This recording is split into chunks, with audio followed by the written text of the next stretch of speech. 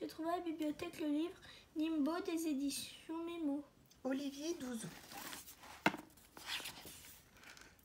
Il arrive que les nuages se décrochent du ciel. Ils se posent pour se reposer. Puis ils se lèvent et s'en vont. Ils ont la tête ailleurs. Ce sont de grands voyageurs. Quand ils s'en vont, ils laissent quelquefois des petits bouts. C'est ainsi que Nimbo est resté. À un ami pour ne plus bouger, pour se cacher. Un ami qui semblait là depuis cent ans.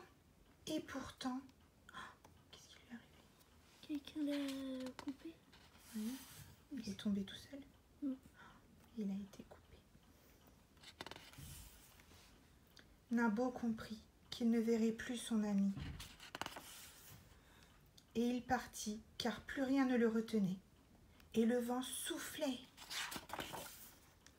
Il vola longtemps et aperçut enfin quelqu'un qui lui ressemblait. Quelqu'un qui n'avait pas de pieds, qui ne bougeait pas et semblait là depuis mille ans. Quelqu'un avec qui il allait pouvoir rester.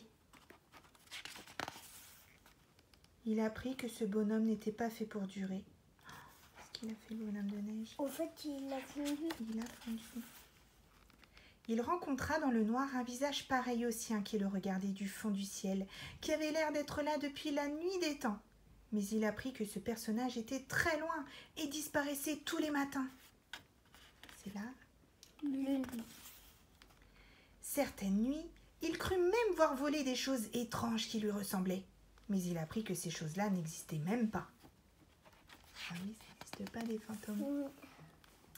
Il apprit à tomber par terre, à se reconnaître. Il apprit à s'asseoir. Il apprit à faire le tour de la terre et revenir à son point de départ. Il apprit à pleuvoir. Oh, il est triste. Tu vois, elle est coupée. Il apprit qu'il n'était pas fait pour rester, comme tous les nuages.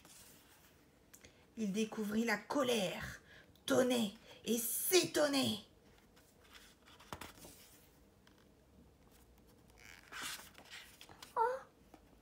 C'est quoi cheminée Il est cassé. Ah oui, tellement il a, il a grondé l'orage. Ah, Tu l'as cassé. Il apprit à changer de forme pour ne pas être reconnu. Il apprit à grandir, à s'émerveiller, à tomber des nues et à disparaître tranquillement pour aller se reposer dans les clairières.